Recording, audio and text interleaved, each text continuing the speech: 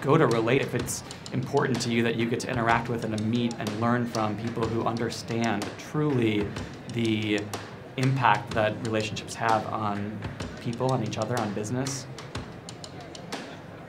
It's good. Relationships in running your businesses have become so incredibly complicated. The world of customer experience is very different than what it was five years ago.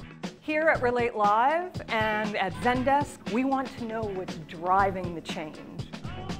It's the great experiences, it's the positive customer service experiences that drives lifetime value. When I heard about the conference and the word relate, I said that's exactly what I want to do within the company and what I want my team to do.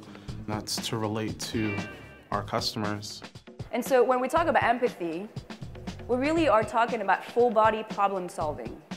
Because our brain is connected to the spinal cord that sends signal to the rest of our body. And when we solve problems, our whole entire body is involved in that. So the statistic, by the way, is that one in a hundred regular people is a psychopath. So there's how many people in this room? Like 300, 200, 300? Three of you are psychopaths. I'm here just to kind of grow personally and bring some topics and conversation starters back to my team to talk about to make sure that we're really growing relationships better. I'm not a inherently social person. I don't start conversations easily. If I'm in a big crowded room, I will be the one in the corner something really interesting is happening on my phone at all times. So Davy Rothbart talked yesterday. What questions would you have for somebody who's sitting next to you at the bar, on the bus? Uh, a stranger, what, what questions would, would you want to ask them?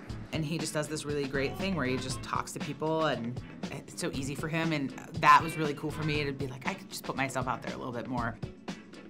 It's just not that hard, probably. it's probably less hard than I think it is, right?